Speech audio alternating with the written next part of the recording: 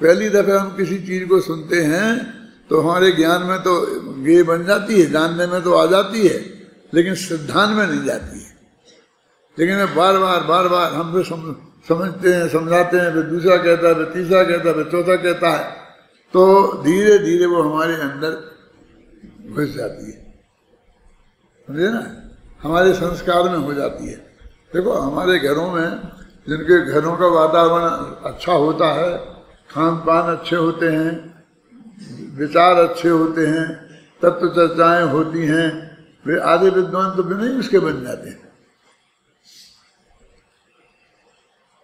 और ये वातावरण कायम होना बहुत कठिन काम है। मुझे याद है कि जब जब हमने महाविद्यालय खोला था और जतीश भाई वगैरह इधर आए थे, गुरुदेव ने भेजे थे कि आप जाओ, वहाँ पढ़ो। तो शुरू शुरू में शांति जी, ये ये ये तर्क करते थे, ये लोग कि साहब सोनगढ़ जैसा वातावरण यहाँ नहीं है। जैसा वहाँ अध्यात्म की वार्ता, बात होती रहती है, चर्चा होती रहती है, और यहाँ वैसा नहीं है। क्योंकि वहाँ तो पच्चीस, तीस तीस वर्ष से वो हो रहा था, और उसमें वो रहते थे तो उन्हें वही वही दिखता था। अब यहाँ तो विद्यालय खुला था, और बारह, तेरह विद्यार्थी आए थे वे, वे भी सब मतलब ज़ीरो ही थे। अब अगर एक आध अध्यापक है जो क्लास में पढ़ाएगा तो वो चौबीस घंटे वातावरण कैसे हो सकता था? तो ये और वे लोग क्योंकि वहाँ से आए थे तो ऐसा महसूस होता था कि ऐसा वातावरण यहाँ नहीं है। तो मैं उनको उस वक्त भी समझाता था कि किसकी जिम्मेवारी है। वैसा वातावरण हो ये किसकी जिम्मेवारी है? हम सबकी जिम्मेवारी है। अकेला अध्यापक कुछ नहीं कर सकते। आप लोग भी वही चर्चा करेंगे वो बात करेंगे घूमते वक्त करेंगे चलते वक्त खा, खाते वक्त करेंगे पीते वक्त करेंगे। तो तो ये वातावरण बनेगा। और नहीं बनेगा तो कैसे बनेगा? इसलिए एक किसी दूसरे की शिकायत नहीं है। ये दूसरे बाहर के लोग आके कहें कि आपके यहाँ वैसा वातावरण नहीं है तो हम उनकी बात पर गंभीरता से विचार करें। लेकिन तुम्हें क्या ये तो हमारी जिम्मेवारी है हम इस वातावरण को बनाए।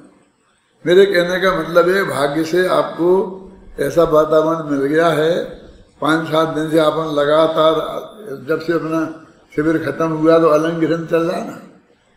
तो आप घबराना नहीं, कैसे ज़्यादा वो नहीं हुआ है। इससे आपको ये बहुत पक्का हो जाएगा। इसमें वो सब निष्कर्ष निकलेंगे वे बताएँगे कि देखो पहले दो बोल इंद्रियों के हैं, फिर एक अनुमान का है, फिर तीन उपयोग के हैं ऐसे करके आपको एकदम बीस बोल आपके ख्याल में आ जाएँगे धीरे धीरे देखो, अपने अब तीसरे तीसरे को पढ़ते हैं। भगवान आत्मा इंद्रिय प्रत्यक्ष पूर्वक अनुमान का विषय नहीं है। इस अर्थ की प्राप्ति कराने वाले तीसरे बोल में, देखो, ये अमृतचंद की भी एक स्टाइल तय है। क्या है वो स्टाइल? ये इंद्रियों के माध्यम से जानता नहीं है, इसलिए ये अतीन्द्रिय ज्ञान में है, ऐसे अर्थ की प्राप्ति होती है। हर एक में क्या नहीं करता है तो फिर कैसे अर्थ की प्राप्ति होती है? ऐसा कहें बीसों बोल में ऐसा मिलेगा यहाँ वो पलटा है। कहते हो, क्या पलटा? आत्मा, भगवान आत्मा, इंद्रिय प्रत्यक्ष अनुमान का विषय नहीं है। इस अर्थ की प्राप्ति कराने वाले तीसरे बोल में। वो जो वहाँ अंत में दिया है, वो यहाँ पहले में दिया है। समझ में आया? ना ये एक विधि है, एक एक प्रक्रिया है। यदि आपके ख्याल में आ जाएगी तो फटाफट आप पूरे वाक्य आपको याद हो जाएँगे। याद क्या होना है? क्यों? बस उसको ही पलटना है ना? कि क्या निष्कर्ष निकलता है, वो पहले प्रस्तुत कर दिया। आप जानते हैं, हिंदी गद्य में आपने पढ़ा होगा कभी, आपने कितना पढ़ते हैं मुझे मालूम नहीं है तो दो तरह की शैली होती है। एक समास शैली और एक व्यास शैली नाम सुने? समाज शैली और व्यास शैली तो क्या है समाज शैली क्या है व्यास शैली क्या कोई बात हमें समझानी है?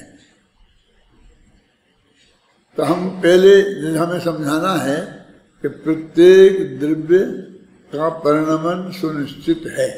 और हमारा ए ए समझाना है बस। हमारा तो हम शुरू में ही लिख देंगे, प्रत्येक द्रव्य का परिणमन सुनिश्चित है। फिर हम अनेक तर्क देंगे, युक्ति देंगे, प्रमाण देंगे, और अंत में फिर कहेंगे, इस प्रकार यह निश्चित हुआ कि प्रत्येक द्रव्य का परिणमन सुनिश्चित है। एक तो ये, और एक ये, पहले से ही शुरू करेंगे, ये नहीं कहेंगे हम क्या सिद्ध कर रहे। हैं क्या? कि देखो हम ये देख रहे हैं जगत में जो भी हो रहा है, उसमें एक व्यवस्थित क्रम है, हैं? बराबर सूरज दिन समय पे उगता है, ये होता है, ये होता है, जैसे सब। कह के फिर अंत में कहेंगे, इससे सिद्ध होता है कि प्रत्येक पदार्थ का मान अंत में निष्कर्ष दिया जाता है, एक शैली भोग, और एक शैली भोग पहले ही निष्कर्ष बता दिया जाता है। अमृतचंद की वो शैली है कि पहले उनने बात शुरू कर दी और अंत में निष्कर्ष निकाला कि इससे इस अर्थ की प्राप्ति होती है। हमने ये शैली अपनाई है कि ये इस अर्थ की प्राप्ति कराने वाले पहले बोल में ये कहा गया है कि आत्मा ना इंद्रियों से जानता है, ना इंद्रियों के द्वारा जाना जाता है। समझ में ना? तो आपको शैली ख्याल में आ जाएगी तो बीस बोल आपको रटने नहीं पड़ेंगे। सहज भाव से आप फटाफट पहले वो निष्कर्ष के वाक्य को बोलेंगे। जिस प्रकार धुएँ को देख कर इस अर्थ की प्राप्ति कराने वाले तीसरे बोल में यह कहा गया है कि इंद्रियों से दिखाई देने वाला कोई लिंग चिन्ह नहीं है जिससे आत्मा का अनुमान किया जा सके। वो कहते अनुमान से आत्मा नहीं जाना जा सकता। बोल तो ये है तो लेकिन अनुमान तो काय पर होता है? हेतु होना चाहिए ना? लिंग माने हेतु, चिन्ह। कोई ऐसी चीज़ होनी चाहिए जिससे हम अनुमान करें, हमने पर्वत के ऊपर धुआँ देखा तो धुआँ हमारा लिंग हुआ, चिन्ह हुआ और तो उससे हमने अग्नि का अनुमान किया। तो वो धुआँ हमने का आँख से देखा। तो कहते हमें आत्मा को देखना है तो कोई ऐसा चिन्ह नहीं है आत्मा का, कि जिसे हम आँख से देख लें। ख्याल नहीं ना? और फिर उससे हम अनुमान कर लें कि आत्मा ये आत्मा है।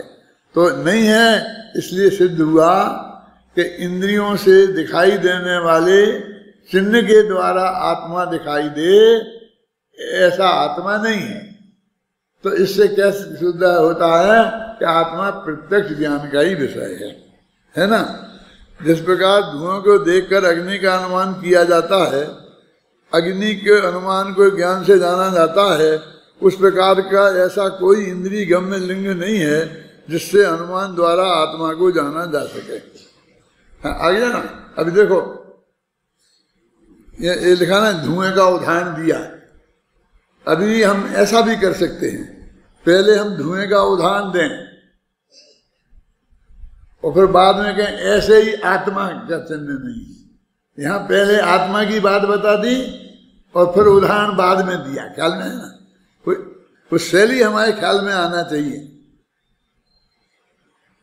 है? देखो, फिर प्रथम दो बोल में, ये बीच बीच में, ये निष्कर्ष के वाक्य निकालते गए हैं शांति जी। इससे आपको बहुत सरलता मिलेगी इसका अर्थ समझने में और याद करने में। देखो, प्रथम दो बोल इंद्रियों संबंधी थे और तीसरा बोल इंद्रिय और अनुमान का मिश्रित रूप है। है ना? इंद्रियों से दिखाई दे, ऐसा हेतु हेतु मान चिन्ह लेंगे, और ऐसा कोई हेतु नहीं है कि जिससे हम आत्मा को जाने। अब है ना? यह आत्मा मात्र अनुमान से ही ज्ञात करने योग्य नहीं है, क्योंकि प्रत्यक्षादि प्रमाणों से भी जाना जाता है। इस प्रकार दूसरे के द्वारा मात्र अनुमान से ही जिसका ग्रहण नहीं होता वह आत्मा अलिंग ग्रहण है। अब कहते हैं कि हम अनुमान से जाना जाएगा ना? तो ठीक है, हम अनुमान से जानेंगे। तो कहते हैं, नहीं, लिंग माने अनुमान और अनुमान से जाना तो जाता है, लेकिन अकेले अनुमान से नहीं जाना जाता है। वो अपन ने चलाई थी शिविर में, क्या चलाया था? रहस्यपूर्ण चिट्ठी चलाई थी ना? तो उसमें आता था कि पहले वो आगम से जाने फिर युक्ति से जाने अनुमान से लगाए, तर्क से सिद्ध करे, और फिर उससे अच्छी तरह निर्णय करके अवग्रही आवाज़ धारणा में पहुँचे, और धारणा में रख ले, फिर एकांत में शांति से बैठकर फिर आँखें बंद कर, अभी तक ये काम आँखें खोल के किया जा रहा था। और फिर वो आँखें बंद करके उसको चबाए, मैंने अपने चिंतन में लाए। तो उनने एक प्रक्रिया बताई थी ना? एक कर्म की। तो हमारे पास जो भी ज्ञान है, तीन तरह के ज्ञान का हमने उपयोग किया। अभी मैं घूमता था, शिविर में ही एक आदमी ने पूछा था कि भाई, हमारा विवाद चलता है कि मति ज्ञान में अनुभव होता है कि शुद्ध ज्ञान में? तो कोई कहता था, मति ज्ञान में होता है, कोई कहता है शुद्ध ज्ञान में होता है। और उनमें बहुत विवाद चल रहा था। तो मैं घूम घूमने आया तो उनने मेरे से पूछा। तो मैंने जो जवाब दिया, वो मैं तुम्हें भी बताना चाहता हूँ। अपने पास कितने ज्ञान है? दो। एक गुण की एक समय में कितनी पर्याय होती हैं? एक गुण की एक समय में सिर्फ़ एक पर्याय होती है। तो ज्ञान गुण की जो भी क्षय समरूप दशा है, वो हमारी एक पर्याय है। अब उस एक पर्याय में भी दो क्वालिटी हैं। अथवा नहीं, माने उसमें मनन करके जानने की क्वालिटी भी है और चिंतन करके पढ़ करके जानने की भी क्वालिटी है। और मनन करके जानने की क्वालिटी को मति ज्ञान कहते हैं और पढ़ करके जानने की क्वालिटी को शुद्ध ज्ञान कहते हैं। और समय सार की एक सौ चवालीसवीं गाथा की टीका के हिसाब से देखो तो वो क्या कहते हैं, मन और इंद्रियों के माध्यम से जो मति मति ज्ञान तत्व हमारा बाहर को जाता था, वहाँ से समेट कर उसे आत्म सन्मुख किया। और फिर क्या देखा, नयों के विकल्प में जो उपयोग बाहर जाता था, उससे समेट कर आत्म सन्मुख किया। तो नयों के विकल्प को शुद्ध, उसे शुद्ध ज्ञान लिया और इससे मति ज्ञान लिया। अब देखो, ये चिंतन मति ज्ञान में भी आ गया, और वही वो पठन पाठन, वो शुद्ध ज्ञान भी है उसमें। वास्तव में तो वो एक ही पर्याय है। तो एक पर्याय के दो अंश हैं। अभी मुफत का झगड़ा है कैसा मति ज्ञान में होता, कि शुद्ध ज्ञान में होता, शुद्ध ज्ञान में होता, कि मति ज्ञान में होता। अब में बिना पढ़ने से होता है, कि बिना पढ़ने से होता है। सोचने से होता है, कि बिना सोचने से होता है। अब आप समझे ना तो पंडित जी के हिसाब से अभी क्या निकालेंगे अपन? कि पहले आगम को पढ़ो तो पढ़ने से हो गया ना। फिर युक्ति से उसका चिंतन करो, है ना। तो सोच उससे हो, सोचने से हो गया ना, पढ़ने से भी हो गया और अब सोचने से हो गया। अब आँख खोल के पढ़ें और सोचें, कैसे आँख खोल के कि आँख बंद करके। तो बोलो, आत्मा आँख बंद करके होगा कि आँख से पढ़ के होगा?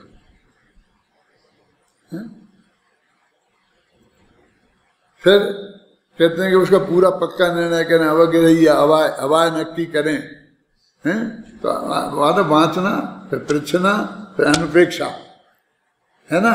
तो अनुप्रेक्षा में हमने खूब चिंतन किया, और फिर हम अवाय तक पहुँच गए। और फिर अब वो भूल ना जाए, इसके लिए पाठ किया। तब वो जाके धारणा में जाके स्थित हुआ है। जब वे कह रहे कि उसको निकाले तो स्मृति में निकाले तो स्मृति में निकाले तो ये सारी प्रक्रिया पार करनी पड़ेगी। तो आप बोलो, आत्मा का अनुभव पढ़ने से होगा कि नहीं पढ़ने से होगा, आँखें बंद करने से होगा कि आँखें खुली करने से होगा? वहाँ लिखते हैं कि आगम पढ़े सोचे गुरु जी से पूछे तो उनकी बात सुने, ये भी कहते जा रहे और फिर कहते माँ चिट्ठई, माँ जम पई, और माँ छिलपई फिर वो बाद में ऐसा भी करना पड़ेगा दोनों ही बातें हैं। अब दो, दो साहब एक कोई बात तो दो दो ही दो ही बातें कहते हो। हम क्या कह रहे हैं? दो ही बातें हैं तो दो ही कहते हैं? अब तुम पहले पढ़ो ही नहीं देखो ही नहीं सोचो तो तुम आँखें बंद करके क्या करोगे? कुछ सोचो? तो तुम्हारे पास कुछ मैटर तो होना चाहिए जो तुम सोचो। कभी कभी मैं कहता हूँ कि समाज, हमें को समाधि मरण करना है ना तो तुम इतना अध्ययन करके अपने इतनी सामग्री धारणा में ले लो तो इस प्रक्रिया से। कौन सी प्रक्रिया बताई? पहले आगम बढ़ो फिर तर्क युक्ति लगाओ, फिर उसमें बड़ा अवग्रह, यह आवाज़ धारणा तक पहुंचो, फिर स्मृति में अन्य धारणा में पहुँचा दो कि तुम्हारी जब अंत समय में गंगवा साहब आँखें काम करना बंद कर दें और कान सुनना बंद कर दें। तो तुम्हें आराम से तुम इतनी सामग्री तुम्हारे पास है कि वहाँ से निकाल निकाल के तुम सोच सको। क्योंकि वैसा नहीं, हमें तुम समझा देना मरते वक्त। लेकिन हम तो समझा जब देंगे जब तुम सुनोगे? कान से सुनते नहीं है? हम तो लिख के दे देंगे तुम पढ़ लोगे, तब पढ़ ही नहीं सकते हो, सुन ही नहीं सकते हो। बेहोशी की हालत में है तो वो जो हमारे अंदर उपस्थित होगा, हम उसी से तो हमारा काम चलेगा। मैं तो ये भी कहता हूँ, कई दफे आप लोगों से सुनी होगी कि ये सब लोग, जितना आपने अपने लिए किया है, जो भी चिंतन मन अध्ययन वो सब लोग उतना थोड़ी जानते हैं। तो वे कहेंगे, तू समझा हमें। तो क्या समझाएगो।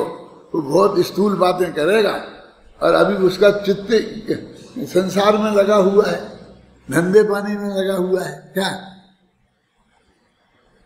तो हमारे पास तो हमने सारी ज़िंदगी का निचोड़ है। तो हम जितना बढ़िया सोच रहे होंगे पर अपना सोच सकते हैं, तुम क्या कर सकते हो? क्या ज़रूरत है हमें तुम्हारी? तुम तो आगे हमें क्या समझाओगे? कि देखो, मरने के पहले वो अपने बिल लिखा देना चाहिए। किसको क्या देना है? वो नक्की कर लो। तुम्हारे पास क्या क्या है? तुम तो ये कहोगे, ये समझाओगे। हम कहेंगे कि हमें नहीं करना है, कि कर दिया जो भी कहेंगे। समझ में आई ना? तो मतलब तुम्हारे पास है क्या? तुम तो दुनियादारी में उलझे हो। तुम तो अभी अपने जिन झंझटों में उलझे हो तुम्हारे तुम्हारे चित्त में तो वही चल रहा है। तो जब मैं कहता हूँ, कोई मुझे समझाना नहीं। कोई मेरी किताब को छह दफे पढ़े बिना मेरे पास आना नहीं मरते वक्त। तो लोग कहते, कैसा पंडित है? सारी दुनिया में तो ये रिवाज है कि मुझे मुझे समझा देना, ये कर देना। जो पंडितों का काम ही बंद कर रहा है। सब पंडित पहुँच जाते हैं। क्या जी थे? छावड़ा जी आप जाओ जाओ की तबीयत बहुत खराब है। मैं जाओ कि तुम्हें समझाना, कि कुछ टोडर मालिश स्मारक को वो ये समझा। सच्ची घटना बोलता हूँ कि मेरा एक मित्र बहुत बीमार था अमेरिका में। उसने मुझे फ़ोन किया तो मैं टिकट भेज देता हूँ और आप आ जाओ आठ दस दिन मेरे लिए। मैं टिकट मिकट सब यहाँ मिलते हैं, तुम कोई चिंता नहीं करो, मैं आ जाऊँगा, टिकट मिकट सब ले लूँगा। अब मैं टिकट लेके चला गया। और वहाँ दस दिन उनके पास रहा। वो बहुत अच्छी, वो अच्छे मूड में आ गए बहुत बीमारी ठीक सी हुई, पर वो समझ नहीं रहे तत्व की बात। और मैं लौट के आ गया। तो मेरे से, मेरे लोगों ने ये पूछा, कितना लाए? तो मुझको इतना अटपटा लगा और बुरा लगा। कि तुम क्या समझते हो? कि मैं कुछ लेने गया था? वो बोल रहा हो, और हम उससे कहेंगे, तुम दे दे हम तो जब सजग होता है, तब भी नहीं कहते प्रचन में भी नहीं कहते। तो मरते वक्त कहने का तो नहीं, हम तो आत्मा का स्वरूप बताएँगे बताएँगे तो हम ये बात कर ही नहीं सकते। लेकिन ये सारे लोग तो इसी के लिए दौड़ दौड़ के जाते हैं।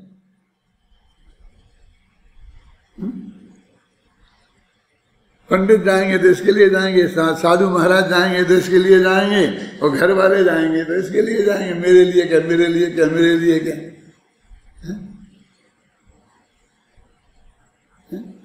तो तुम्हारे मरते वक्त तुम्हारे परिणामों को कोई सुधार देगा, इस धोखे में मत रहना। तुम आँखें खराब होने के पहले इतना पढ़ लो कि फिर किसी दूसरे की ज़रूरत नहीं पड़े। कान खराब होने के पहले इतना सुन लो कि फिर किसी की ज़रूरत नहीं पड़े। और होने के, अस्वस्थ होने के पहले इतना सोच लो कि फिर सोचने की ज़रूरत नहीं पड़े। क्या कह रहे हैं? हम तो फिर सोचेंगे, हमारे जो पड़ा। सोचना, सोच करके निर्णय पहुँच गए ना। अब सोचना क्या है? अब मैं तो त्रिकाली जो भगवान आत्मा उस निर्णय पे हम पहुँच गए। तो उस अंत में क्या लिखा था? अपना जो प्रवचन खत्म हुआ ना शिविर में तो उसमें अंत में क्या निर्णय आया था? मैंने अंत में ऐसा कह कह के बताया था, मैं ये बताऊँगा बताऊँगा, परिणामों को मंगन कैसे करना, परिणाम याद है? कहा था ना? तो उसमें ये कि अब सिर्फ़ जानो। वो विचार भी मत करो। मैंने विकल्प भी नहीं होना चाहिए। अब प्योर जानना होना चाहिए, जानना बता तो अच्छा ठीक है, अब हम तुम्हें नहीं समझाएँगे तो तुम क्या सोचोगे? कि हम सोचेंगे ही नहीं। क्या समझना है ना? पढ़ने का, पूछने का, सोचने का, सब काम निबट गया। अब तो हम एक सुनिश्चित निर्णय पर पहुँच गए। अब वो निर्णय हमारे ज्ञान में है। अब हमारा अपने ज्ञान को उसमें स्थिर करेंगे। शांति जी कुछ कुछ नया लगता है ना? है तो सब पुरानी बातें उसमें ही लिखी थी, मैंने उसमें भी कही हैं, लेकिन हमारे उपयोग में नहीं, वहाँ नहीं पहुँचता है। हम तो समझते हैं कि हमें कुछ सुनना चाहिए। क्या तो भैया तुम सुना दे, मरते वक्त हमें।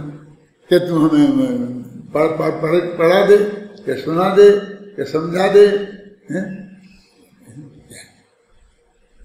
हमें, हम तो यही यही हमारी समझ में आते और इससे धर्म हो जाएगा। और ये कहानी किससे हमने पढ़ रखे हैं। एक कुत्ते को नवो का आपने सुना दिया था जीवेंद्र स्वामी ने। तो वो स्वर्ग चला गया था। फलाने को ये हो गया था, फलाने को ये हो गया था, फलाने को ये हो गया था। ऐसे लोग पूछते अच्छा तो फिर वो जीवेंद्र स्वामी ने नवो का सुनाया था तो उससे स्वर्ग नहीं गया? वो स्वर्ग तो गया। और जीवेंद्र स्वामी ने सुनाया था ये बात भी सच्ची है। लेकिन अब मैं एक बात पूछता हूँ। मैं ये नहीं कहना चाहता हूँ कि उससे नहीं गया मैं ये पूछना चाहता हूँ कि यदि वो जीवेंद्र स्वामी नहीं आते वहाँ और नहीं सुनाते सुनना तो वो मर के कहा जाता है? बात बताओ। सोचो। तुमने इतना दिन मेरे को सुना है तो तुम लोग समझ गए होगे मैं कैसा आदमी हूँ। तो वो कुत्ता कहाँ जाता? वो जहाँ गया है उसी स्वर्ग में जाता कि नहीं? क्योंकि वो तो पहले से नक्की है। तीन भक्त तो दिख जाते हैं ना। अब ज़बरदस्ती तुम जीवन स्वामी कह कह के सुना के और तुम तुम मुझे नवोकार मंत्री सुना देना और तुम ऐसे ही कर देना। अपने को काय को कुत्ता बना रहे हो? कुत्ते को सुनाया था वो स्वर्ग में चला गया। है? अरे तुम दूसरों के भरोसे ही स्वर्ग में जाओगे। तो अपना भरोसे नहीं जा सकते हो। तुम अभी से निर्णय कर लो ना, क्यों? संजय नहीं, हो सकता है ये काम। हो सकता है ना? तो हम हम अपने ज्ञान में आवाज़ तक पहुंचकर निर्णय कर लें कि मैं कौन हूँ। आप समझे ना? और फिर उसमें उपयोग को स्थिर कर दें। उसमें मगन कर, मगन शब्द था। मगन कर दें। तो हमें ऐसा लगता है कि मगन करने के लिए कुछ ना कुछ कुछ नमक मिर्च डालना पड़ेगा। ऐसे कुछ नहीं, सिर्फ़ जानते रहो इसका नाम है मगन करना। कुछ ऐसा नहीं है उसमें, बहुत ऐसी बारीक बात है, जैसे तुम्हें कुछ करना मनना नहीं है कुछ। ऐसा जानना तो है तो जानना तो तेरा स्वभाव है ना भाई साहब। तो जो तूने जान लिया है, विचार लिया है, निर्णय कर लिया है, उसको ही जानते रहना है। वो जो त्रिकाली ध्रुव भगवान आत्मा तुम पाँच साल तक लगातार यहाँ बोलने लग गए और तोता जैसे हो गया यहाँ खड़े करके सूचना देने खड़े हो तो त्रिकाली ध्रुव भगवान आत्मा आता है। मुझे बहुत अच्छा लगता है। मैं कोई तुम्हारी आलोचना नहीं कर रहा हूँ। अब वो अंदर ऐसे घुस गया है अब वो हमारे ज्ञान का गेय बना रहे हम ज्ञान का गेय बना रहे जानते रहे और जान, जानना हमारा जो स्वभाव है हमें वो ही करना है।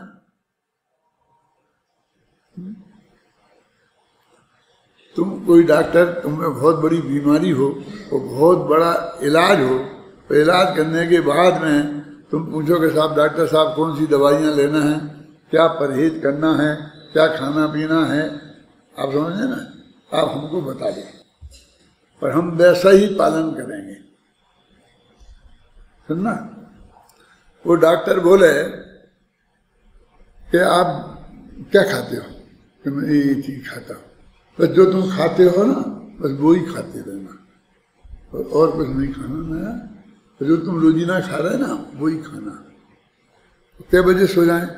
तो रोज़ाना कितना बजे सोते हो? दस बजे। बस दस बजे ही सो जाना। समझ में आया वो जो तुम अभी आज तक कर रहे हो बस वो ही करना। और डॉक्टर को आपके परहेज में और कुछ नहीं बदले।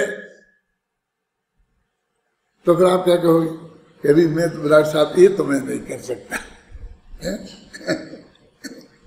ये तो मैं नहीं कर सकता। क्या कह रहे हो? अरे तुम जो कर रहे हो वो ही करो। जानना तुम्हारा स्वभाव है। तुम जान कर निर्णय करो। और मरते वक्त भी सिर्फ़ वो ही जानते रहना बस।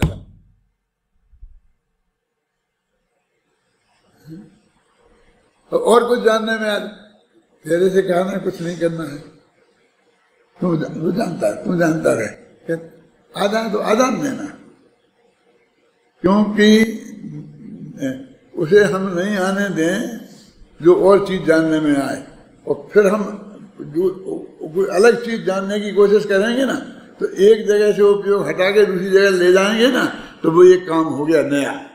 और वो होना नहीं है। क्योंकि नक्की तो वो है, जो गेय को तुम जानना है। और वही जानने में आ रहा था। तो समझ में शांति जी क्या मैं क्या कह रहा हूँ? कभी कभी मुझे शक हो जाता है कि मैं जो कह रहा हूँ, वो बात पहुँच रही कि नहीं पहुँच रही है। तुम ये कहते हो कि मैं तो ऐसा, मैं तो कोशिश करके ठीक करूँगा अपने जानने को। अच्छी चीज़ जानूँगा बुरी। तो बस तो तो ही तुमने रास्ता बिगाड़ दिया। हम तो ये कह रहे कि तुम्हारे जो जानने में आए बस वो ही जानते रहेंगे बस जानते रहो, ये कह रहे हैं किसको जानते रहो, हमने कहा कही? तो हम पर से हटा के आत्मा आत्मा को जानते रहे, ये नहीं है। अरे ये तो सब हो गया ना, बहुत पहले का पाठ था। वो तो जब अपन ने पढ़ा वहाँ सुना था प्रेक्षणा था, अनुप्रेक्षा था, तब उसमें नक्की कर लिया था ना। है? कि जब भी हमारे लिए केवल ज्ञान होगा तो उसके पहले हमारे आत्मा का ज्ञान का गेय हमारा आत्मा ही बना बना होगा। वो तो हमने सब जान लिया है ना। अब अब तुम उस वक्त के लिए कुछ मत रखो। यदि तुमने उसमें फेरफार किया तो गड़बड़ हो जाएगा मामला। कि जो जानने में आए, वही वो ही जानते रहे कि हाँ कोई कोई तुम इस बात को सहजता को स्वीकार तो करो। ये भविष्य में जो हमारा ज्ञान का ज्ञ नक्की है और जो जिस समय जानने में आना है वो ही आएगा, मेरे किए कुछ होगा नहीं, तब तो तुमने माथे का बोझा उतारा है और फिर तुम उसे ले रहे हो।